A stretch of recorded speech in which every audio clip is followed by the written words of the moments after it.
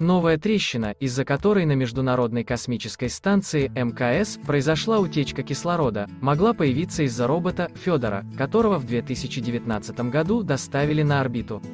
Корпус мог быть поврежден при неаккуратном перемещении андроида, заявил РИА Новости член Северо-Западной организации Федерации космонавтики России Александр Хохлов. Он напомнил, что антропоморфного робота перемещали через промежуточную камеру из корабля «Союз МС-14» на станцию и обратно, причем такой маршрут переноса не был заранее запланирован. Автоматическая стыковка «Союза МС-14» с роботом к модулю «Поиск» не состоялась из-за того, что на МКС оказался не подключен один из кабелей системы сближения «Курс».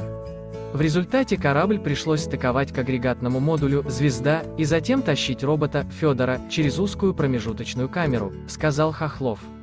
Неаккуратное перемещение андроида вполне могло привести к появлению трещины в корпусе.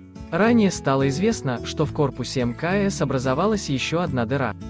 Предположительно, она находится в промежуточной камере модуля «Звезда». В центре управления полетами попросили экипаж укладывать мешки и покрывало на различные места, чтобы сузить район поиска утечки.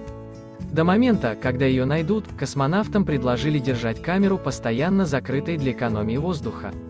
Антропоморфный робот спасателей FEDOR создан андроидной техникой и Фондом перспективных исследований по заказу МЧС России.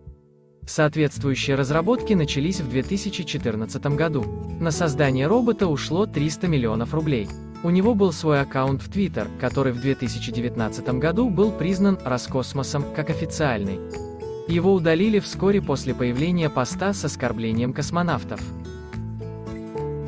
Если видео было вам интересным, пожалуйста поставьте лайк и подпишитесь на наш канал.